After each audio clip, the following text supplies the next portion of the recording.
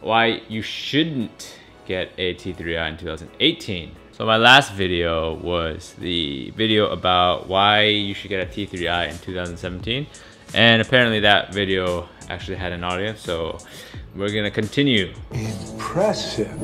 Number one reason why you should not get a T3i in 2018 is because it has almost zero to no functions if you don't install Magic Lantern. You can take video and pictures, but basically if you don't install Magic Lantern, you're limiting yourself a lot. And most people don't in install Magic Lantern because you kind of risk breaking your camera.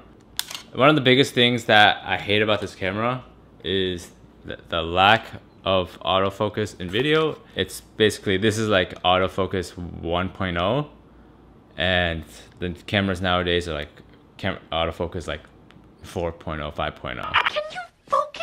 I would definitely advise not getting this in 2018 because of that. Most of the time, you're just you know racking focus you end up missing your pictures and video and then you check later and you realize you have a, a soft photo like this the lizard show the lizard reason number two why you should not get this camera in 2018 uh, there's no EVF I didn't realize how important EVF is. And if you don't know what an EVF is, is electric viewfinder. Uh, if you have an electric viewfinder and it's during the daytime, you can literally see everything you're shooting. If it's uh, out of focus, uh, overexposed, underexposed, you'll see it right in the viewfinder, but not in this one. This is just like a regular viewfinder, and you can never, you won't be able to tell unless you take multiple pictures, and then it just takes a lot of time, and then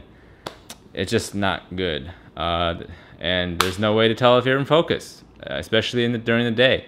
I brought this camera when we went to Asia, and I literally took like a when we were, we were eating durian, and the whole time we were out of I was out of focus. So, and it's very hard, very very hard to match with newer cameras. Here's another example. This is from the vlog.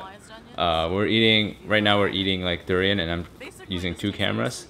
I st- I didn't do it for the rest of the trip just because the footage looks so different for both cameras. The RX 100 is super sharp, and then the T3i, uh, I believe it was a 10 to 18 uh, lens. It looks super out of focus. It just doesn't hold up nowadays. EVF, very important. You will never know if you never had it, and once you have it, you can't go back.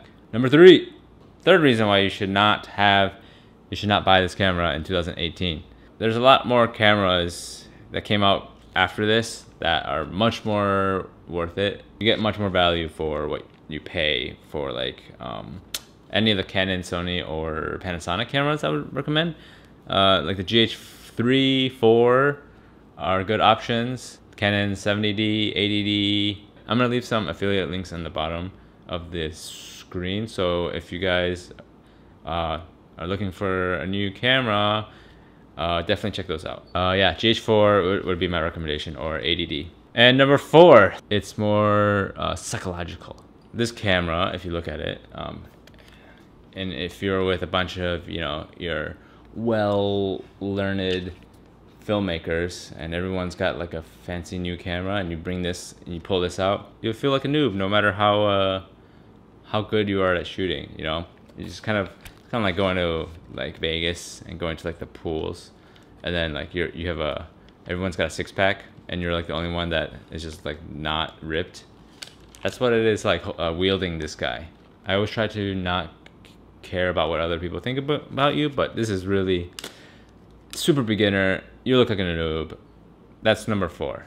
I got this in 2012. Yes, 2012. It's lasted this long. It's still alive. So if you have it, just use it, learn how to use it. It's a very good beginner camera. It's like getting your first motorcycle. What do you think my next camera should be? I'm in the market for a new camera. I'm thinking I should wait for the Sony a7S III. I was gonna go for the a7 III, but I don't know. Uh, it was kind of out of it was out of stock, and I've been waiting for a new credit card so I can get those points. You know, you know, trying to rack up those points while also getting a new camera and deducting that in the taxes, you know, you know.